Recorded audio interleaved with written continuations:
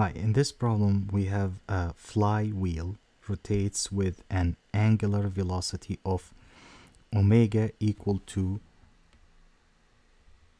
0.005 theta squared radian per second. So this is angular velocity with respect to angular position.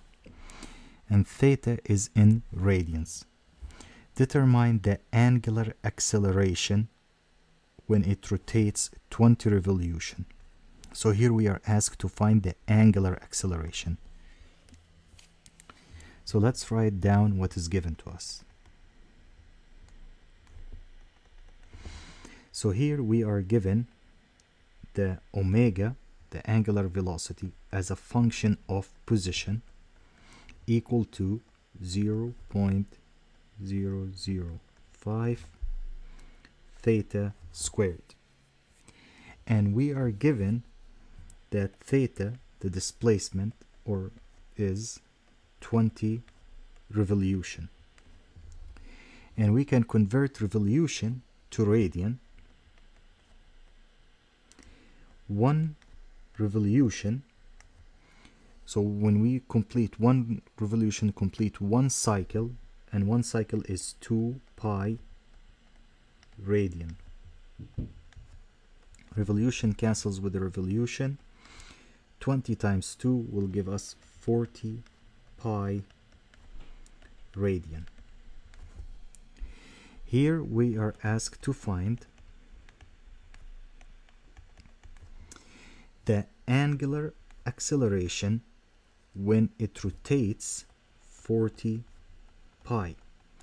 Or in other words, we want to find the angular acceleration as a function of position.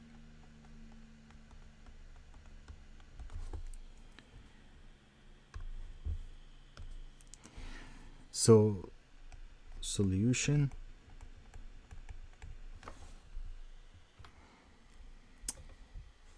so if you if if your initial intuition that you that you need to differentiate this equation right here then it is wrong.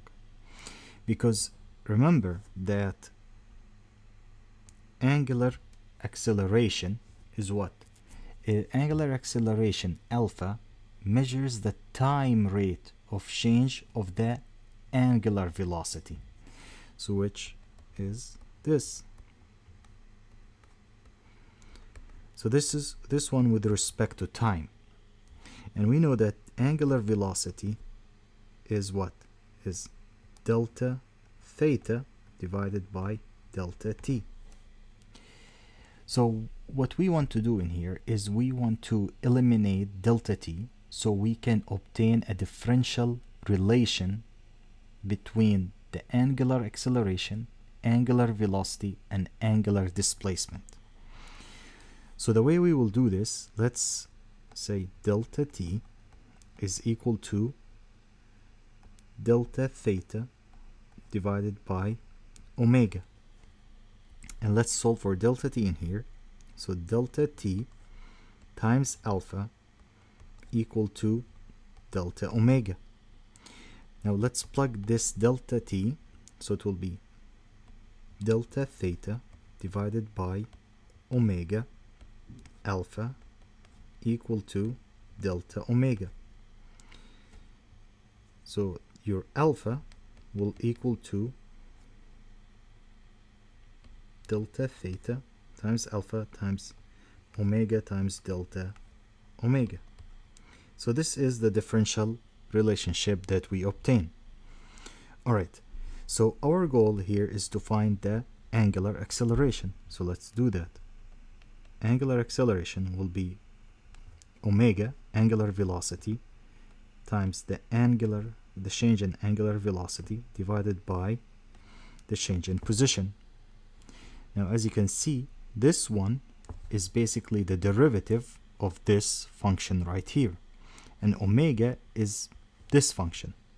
So alpha will equal to omega, which is 0 0.005 theta squared times delta theta over delta q 2 times 0 0.005 is 0 0.01 0 0.01 and theta to the power 2 2 minus 1 is theta.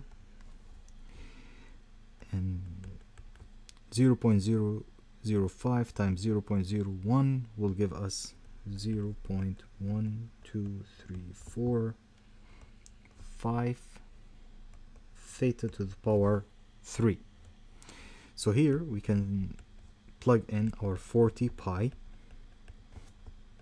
and that will equal to 0 0.0005 40 pi radian to the power 3 so our angular acceleration will equal to 99.22 radian per second squared. Thank you very much. Have a good day.